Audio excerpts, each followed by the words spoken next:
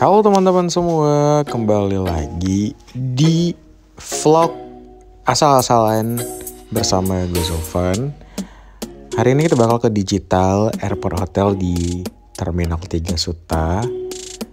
Lihat teman-teman, wah keren banget ini. Teman-teman bisa lihat hotelnya, wow banyak banget ya. Uh, cara masuknya kita harus pakai card, tinggal di swab di situ terus pintunya nanti akan bunyi kebuka.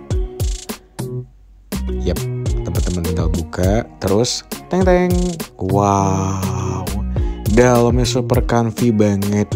Kecil tapi comfy ada cerminnya juga.